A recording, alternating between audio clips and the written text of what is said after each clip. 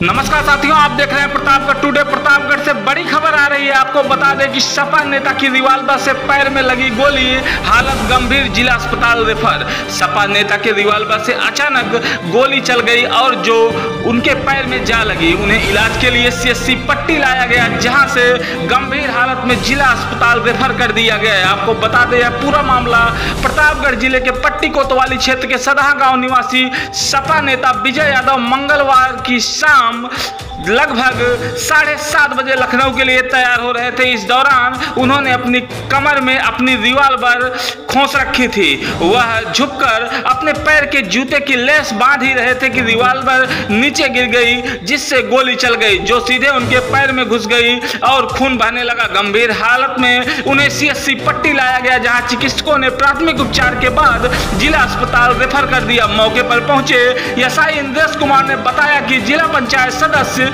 सपा नेता विजय यादव के पैर में उनकी रिवाल्वर से गोली लगी है। उन्हें जिला अस्पताल इलाज के लिए भेजा गया है। की सभी बड़ी खबरें देखने के लिए हमारे साथ जुड़े रहे। अगर आपने अभी तक हमारे चैनल को सब्सक्राइब नहीं किया है तो चैनल को सब्सक्राइब कर ले। बेलाइकन को दबाना ना भूलें, जिससे कि हमारे आने वाले नए वीडियोज़ की नोटिफिकेशन मिल सके आपको सबसे पहले।